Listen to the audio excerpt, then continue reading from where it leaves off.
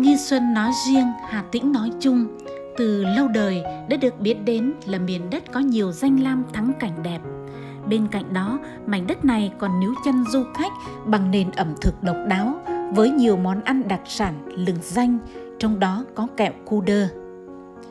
Cũng giống như nhiều đặc sản khác của Hà Tĩnh, kẹo cu đơ hương trí ở xã Xuân Hồng, huyện Nghi Xuân được làm từ chính những sản phẩm nông nghiệp trên địa bàn bao gồm mật mía, lạc,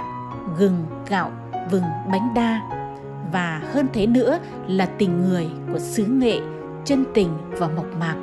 Cái tình được gửi gắm từ lúc chăm bón cây cho đến lúc ngồi quấy mật đổ kẹo.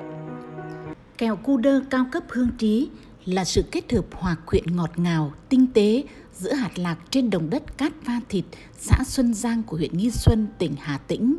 Với các sản phẩm được sản xuất từ các làng nghề có uy tín trên địa bàn của huyện và tỉnh Hà Tĩnh. Qua những cái bước để à, có một miếng kẹo ngon là phải à, đầu tiên là phải à, lựa chọn cơ nguyên liệu đầu vào là phải chuẩn, lạc là phải khô, mật là phải lấy cái chỗ uy tín và gừng nữa, bỏ gừng vào và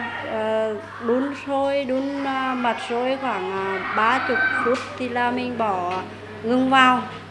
Khoảng 15 phút nữa thì mình gần chín mình cho ra nồi.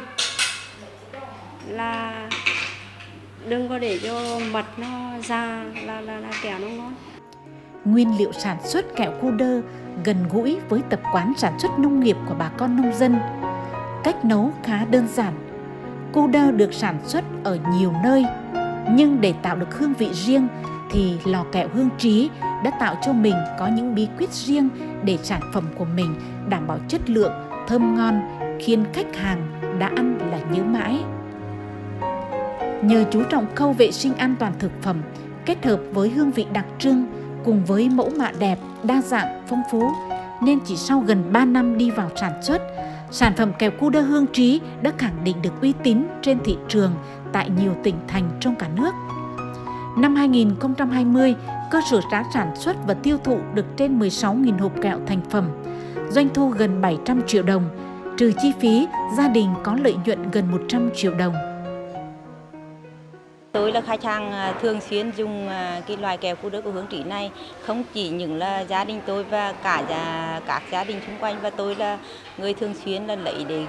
vừa đi bán vừa để cho con cả con ở trong cùng tao cùng bán cái loại cu đơ này. Cho nên là khách ở gần ở xa rất là ưa chuộng cái loại cu đơ của nhà hướng trí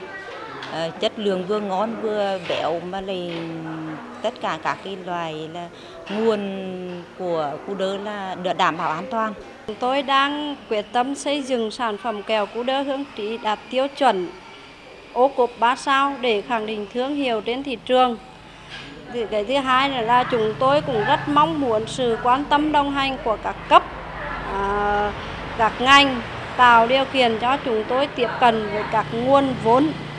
Ờ, ưu đãi để mở rộng cơ sở sản xuất, mua sắm trang thiết bị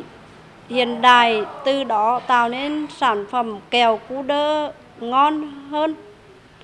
cái thứ ba nữa là chúng tôi mong muốn ờ, mở rộng và đưa sản phẩm ờ, ra thị trường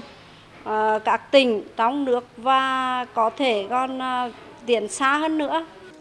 Để tiếp tục khẳng định và nâng cao vị thế và sức cạnh tranh sản phẩm trên thị trường hiện nay, cơ sở sản xuất kẹo cu đơ hương trí không ngừng đa dạng hóa hình thức sản phẩm và sự linh hoạt trong áp dụng các tiến bộ khoa học kỹ thuật vào sản xuất, nâng cao chất lượng, mẫu mã phù hợp với người tiêu dùng, duy trì danh tiếng của sản phẩm để cùng với nhiều sản phẩm khác của quê hương Hà Tĩnh có mặt trên thị trường cả nước và xứng danh là kẹo cu đơ Hà Tĩnh.